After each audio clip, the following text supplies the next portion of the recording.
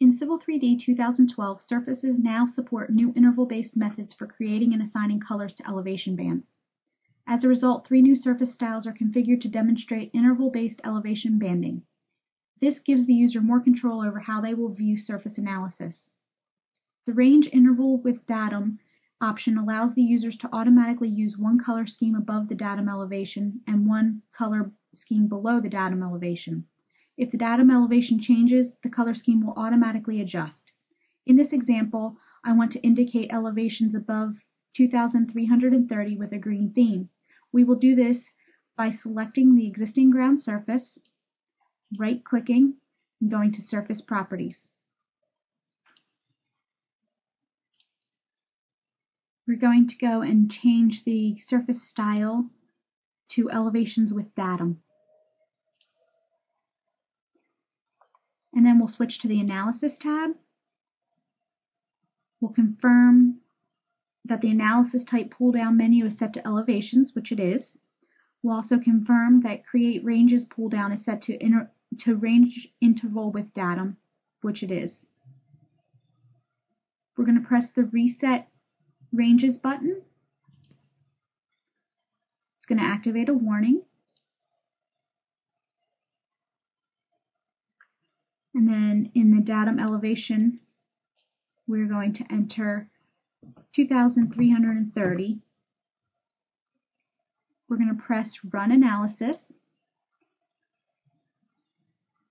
and press OK.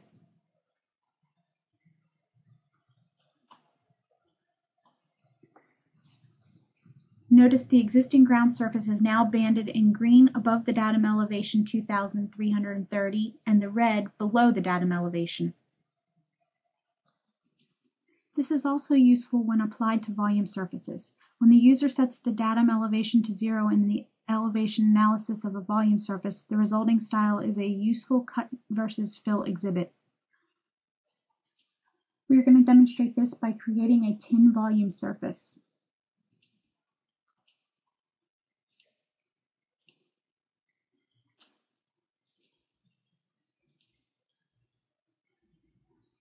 And we'll just simply call it tin volume. And the base surface is going to be our existing ground. And the comparison surface is going to be our grading.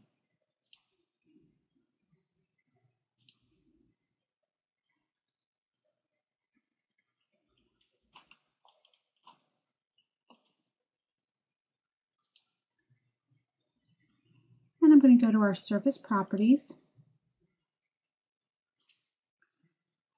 where I can make sure that the surface style was set to elevations with datum.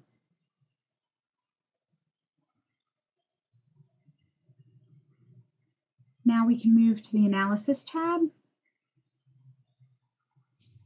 We're going to confirm that the analysis type is set to elevations, and it is. And then we need to confirm that the create ranges pull down is set to range interval with datum.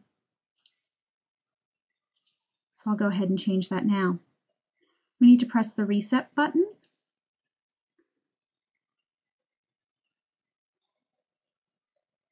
And then enter zero for add elevation datum. And press run. Notice my color scheme's updated and I will simply press OK. The volume surface is now banded in green above the datum elevation or areas of fill and red below the datum elevations or areas of cut. The payoff is customers now have more intuitive and automatic tools to create meaningful exhibits for terrain and volume surfaces.